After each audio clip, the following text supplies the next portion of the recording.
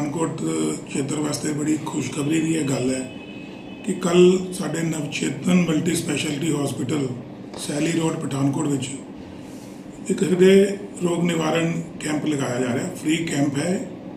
ਇਸ ਕੈਂਪ ਦੇ ਵਿੱਚ ਬੜੇ ਮਸ਼ਹੂਰ ਡਾਕਟਰ ਫੋਰਟਿਸ ਲੁਧਿਆਣਾ ਤੋਂ ਸ਼੍ਰੀਮਾਨ ਡਾਕਟਰ ਮੁਨੀਸ਼ ਅਗਰਵਾਲ ਜੀ ਕੱਲ 11 ਤੋਂ 2 ਵਜੇ ਦੇ ਵਿੱਚ ਮਰੀਜ਼ਾਂ ਦਾ ਫ੍ਰੀ ਚੈੱਕਅਪ ਕਰਨਗੇ। ਔਰ ਇਹ ਇੱਕ ਬੜੀ ਖੁਸ਼ਖਬਰੀ ਦੀ ਗੱਲ ਹੈ ਕਿ ਡਾਕਟਰ ਜਿਹੜੇ ਮੁਨੀਸ਼ ਅਗਰਵਾਲ ਨੇ, ਉਹ ਹਿਰਦੇ ਰੋਗ ਵਿਸ਼ੇਸ਼ज्ञ ਤਾਂ ਹੈ ਬਟ ਉਹ ਇੱਕ ਹਿਰਦੇ ਰੋਗ ਸਰਜਨ ਵੀ ਹੈ, ਉਹ ਹਾਰਟ ਸਰਜਨ ਵੀ ਹੈ। ਔਰ ਬੜੀ ਜਾਣ ਕੇ ਖੁਸ਼ੀ ਹੋਏਗੀ ਕਿ ਪੰਜਾਬ ਦੇ ਅੰਦਰ ਸਿਰਫ ਦੋ ਜਾਂ ਤਿੰਨ ਹੀ ਹਾਰਟ ਸਰਜਨ ਨੇ, ਜਿਨ੍ਹਾਂ ਚੋਂ doctor Munish one of the heart surgeons ਨੇ।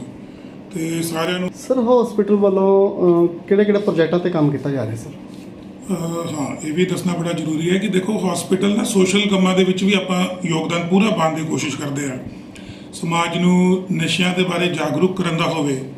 ਤੇ ਸਾਡੇ ਕੋਲ ਜਿਸ ਤਰ੍ਹਾਂ ਦੱਸਿਆ ਮੈਂ ਪਹਿਲਾਂ ਕਿ ਗਵਰਨਮੈਂਟ ਅਪਰੂਵਡ ਨਸ਼ਾ ਛੁਡਾਓ ਕੇਂਦਰ ਸਾਡੇ ਹਸਪੀਟਲ 'ਚ ਚੱਲਦਾ ਹੈ।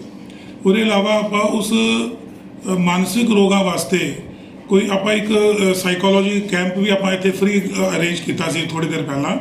ਉਹਦੇ ਨਾਲ ਨਾਲ ਸਾਰਿਆਂ ਨੂੰ ਪਤਾ ਸਾਵਨ ਦੇ ਮਹੀਨੇ 'ਚ ਪੇੜ ਬੜੀ ਜਲਦੀ ਲੱਗਦੇ ਨੇ।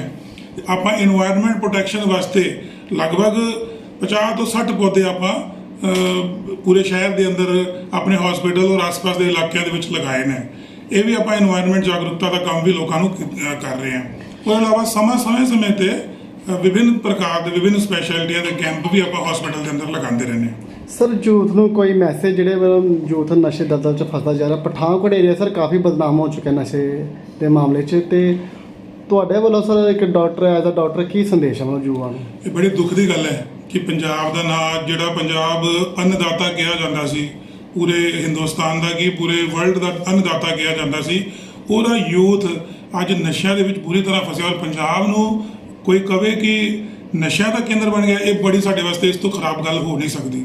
ਸਾਨੂੰ, ਮੇਰਾ ਇਹ ਮੈਸੇਜ ਹੈ ਕਿ ਆਪਣੀ ਵਿਰਾਸਤ ਨੂੰ ਪਹਿਚਾਨਣਾ ਚਾਹੀਦਾ ਲੋਕਾਂ ਨੂੰ, ਯੂਥ ਨੂੰ।